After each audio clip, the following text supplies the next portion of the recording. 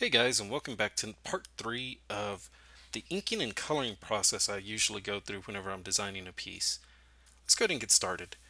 Here I'm getting my brush and I'm just setting up all my uh, definitive lines, the lines that I'm really going to be using for the for the artwork based off the template that we just created. Uh, so right now what I'm doing, I'm kind of getting my ideas down. Uh, I want to go with something kind of like a rattlesnake rattler. Um, growing up where I am, uh, we have a ton of rattlesnakes and uh, I just kind of wanted to get something there. It's always been kind of something that's interested me. Uh, so I thought I'd just go ahead and use the use it for the horns. And here right now you'll see me go through a different couple variations of kind of like how I want to style the hood and everything else. I'm just really kind of getting a feel for the piece, like what I really want to do with it and kind of where the piece is taking me. And right now what I'm doing is I'm just using a second layer on top of my line art layer that way the second layer I can apply some color to it without having to worry about uh, going up to the lines. It You technically go up to the lines kind of like a coloring book, but uh, you really it's okay if you go too far uh, too far out or anywhere else because you can always go back to that layer and erase up to the line art uh, area just like I did there. And right now what I'm doing, I'm just kind of getting some little bit of hatch work. Um, it's kind of a variation of that. It's kind of like a way of doing shading. Uh, hatching, like I said in the previous video, is when you use lots of multiple lines together to kind of give it a, a shadow effect. The closer and the more lines you have together, the more uh, it gives you kind of like a dark area.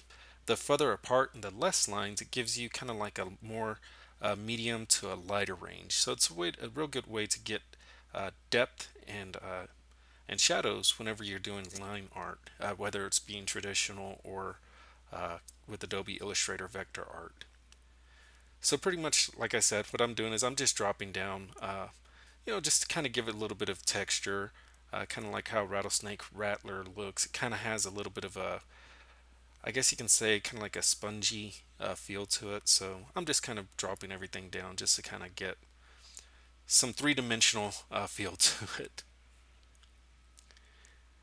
Now what I'm doing pretty much, I change um, usually my base color, my the first layer that I'll lay down is uh, kind of like the midtones. Like this is kind of the color that I want to use.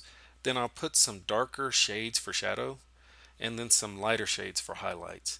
And then later on what I'll do is uh, I'll use kind of like a transparent layer. Uh, what I do is I usually set it to darken or multiply and bring, uh, bring the opacity down to maybe like 75%, which is what I'm doing right here. So it's okay to go way past the lines because you're going to use your erase tool just to kind of erase what you don't want. And I'm leaving a lot of it uh, on the actual canvas just to kind of give it a watercolor effect. Uh, just so you can get kind of like some transparent shadows, kind of like this is where shadows really form even though I've got some darks. It just kind of gives it a, another dimension. And as you can see, I was pretty happy with the way that set, uh, turned out. So I went ahead and just copied and migrated it over and flipped horizontal. That way I can just reuse it. You can draw uh, both sides. it is time consuming to do that and it's just a real quick way. Uh, what I love about digital art is you can copy paste bring it over and then you can make adjustment adjustments to both sides just to kind of make it uh, different from each other but a lot of times uh, if it works it works go for it just kind of bring it over and and just go from there now here's kind of where the hatching uh, comes into play. Whenever I'm drawing with a ballpoint pen, this is kind of the way that I shade. I'll lightly hold the pen and I just start doing kind of like, a, I guess you could say chicken scratch. I just scratch the paper.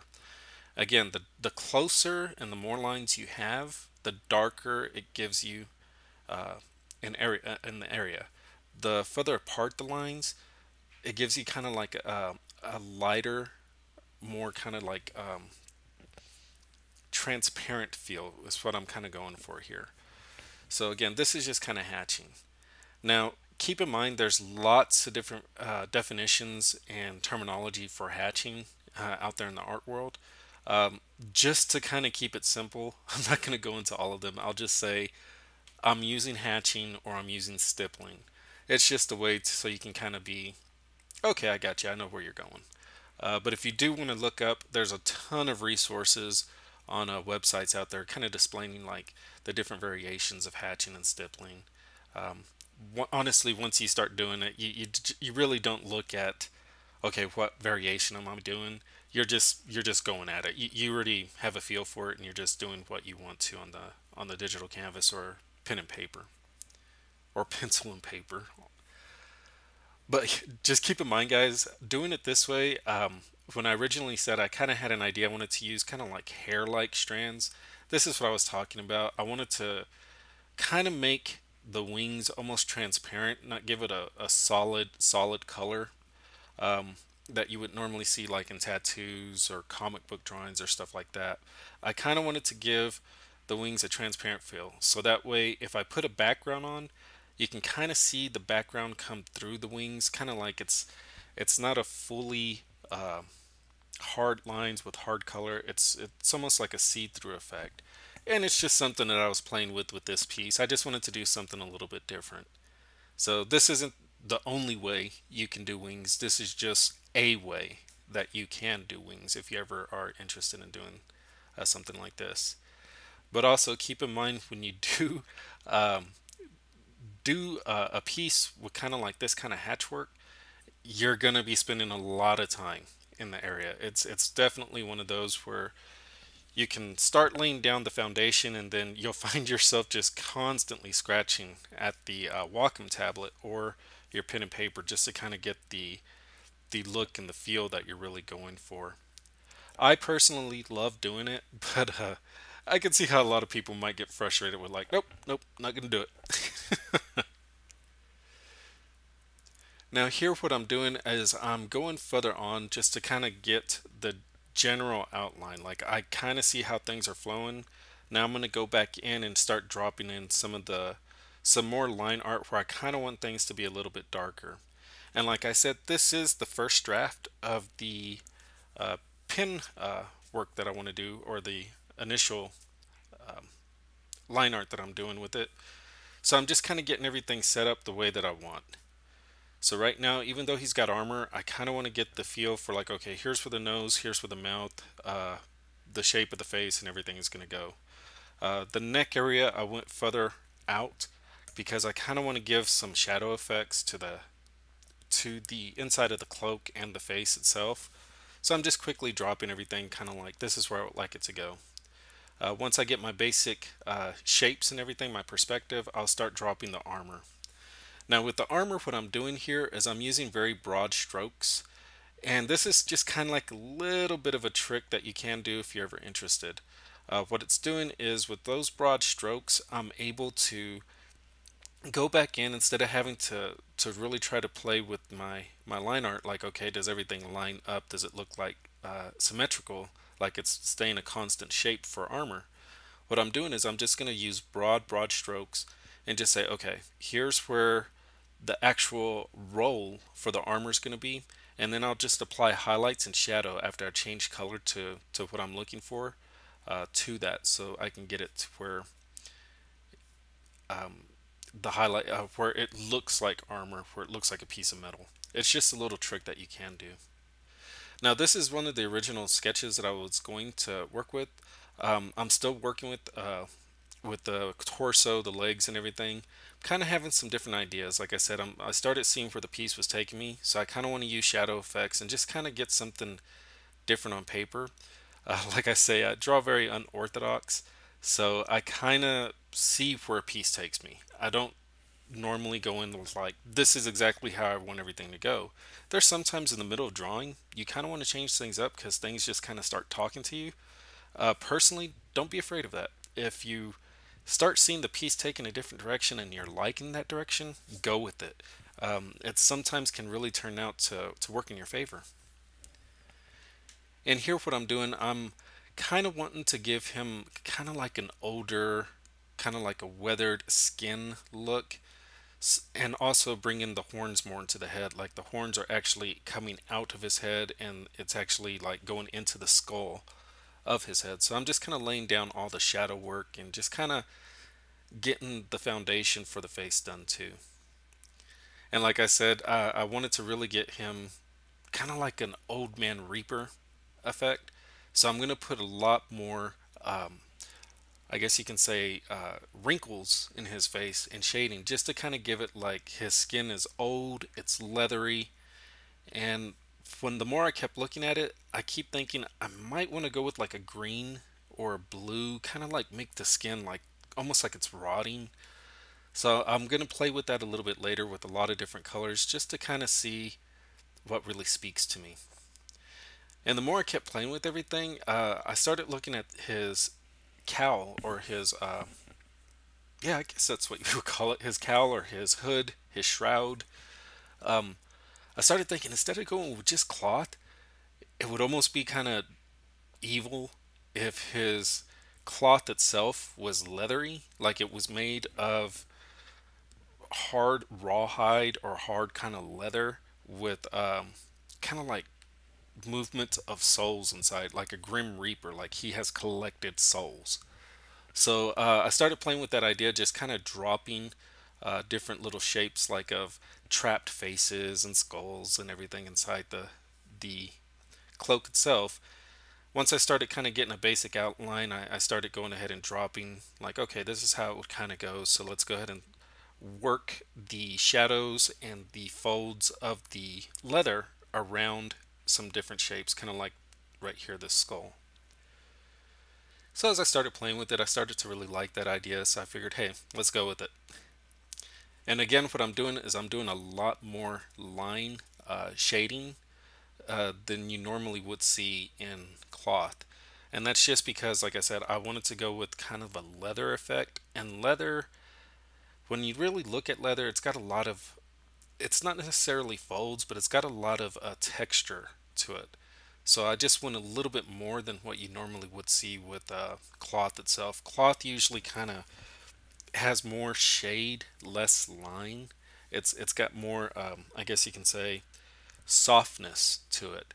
So with the leather, I, I wanted to really kind of just give it like a really rough and it's almost kind of like an ink blot. Like if you've ever watched a, uh, oh god, I can't think of that comic book. People are going to kill me for this, but Rorschach.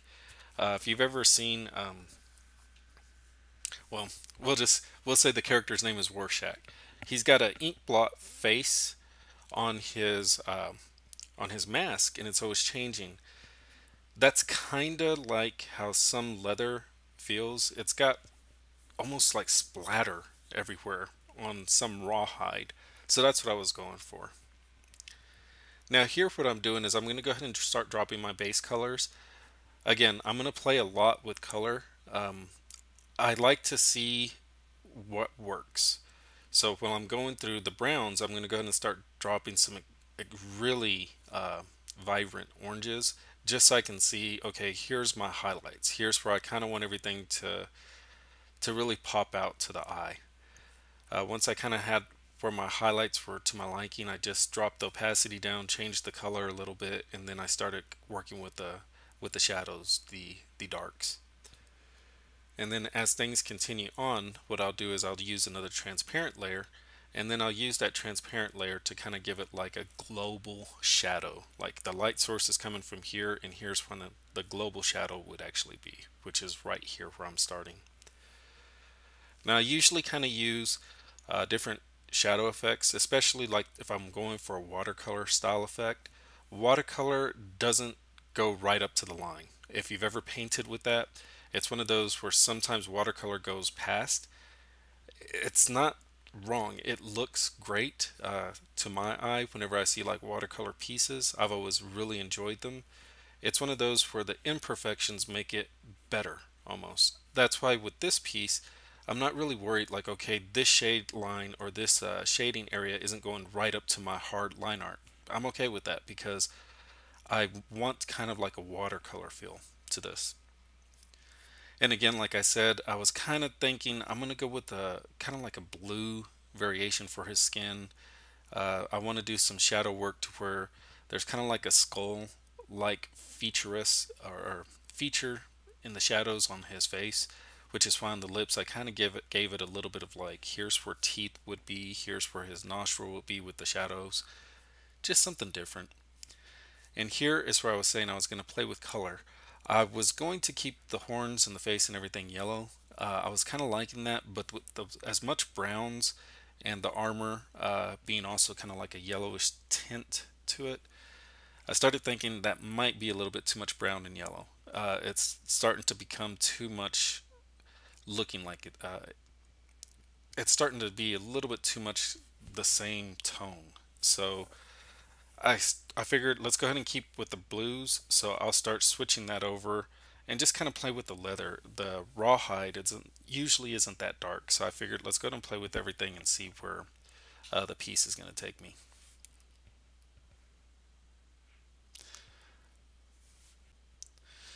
Now what I'm going to go ahead and start doing is start working on the rest of the armor. So I'm going to go ahead and just kind of get my base color and everything down. I've also lightened up on the blues and the browns in the leather itself. That way the armor and everything just kind of flows a little bit easier to the eye and you can kind of see where things are taking shape and where they are going. Now here's where I'm also going to select the line art uh, with the uh, one of the tricks that I was talking about earlier. I'm just going to keep those really broad strokes and apply highlights and shadows to that so it gives kind of like the rolled armor effect without actually having to go in there and draw each line and then color in. It's just a little trick that you can do. Um, it can be something that you like and it can be something that you don't. Most people sometimes would rather uh, draw out each portion that way they can color it in and get it really the the shape that they like or the the colors that they like. This is just a little quick way to give you an idea like you can use thick lines and then fill in with highlights and shadows and then play around with the paths just to make sure it covers the way that you want. So you can just drop down uh, some real quick highlights and then go back in with paths which is what I'm doing here and give it that contour that you really want. And then here what you're going to see is I'm just kind of masking out where I'm going to use uh, put the hands and everything. I'm not really focusing too much on the knuckles or everything else. What I'm going to do is I just kind of want the layout for it and then I'm going to go back in and use uh, the blues that I'm using in the skin to give the the knuckles and the wrinkles and everything, his fingernails and stuff like that. So this is pretty much kind of like, okay, here's where every, I want everything to go.